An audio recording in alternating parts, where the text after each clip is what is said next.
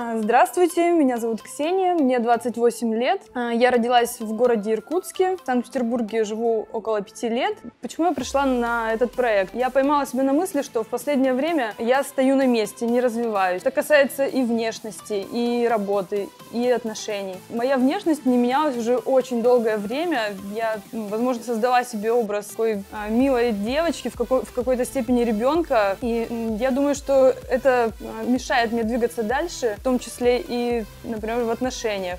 Я боюсь э, заводить семью, боюсь рожать детей. Мне кажется, так как перед глазами у меня много примеров, когда женщины теряли себя в семье, у меня все-таки существует какой-то страх уйти полностью в семью, в ребенка и перестать э, развиваться самой, потерять себя.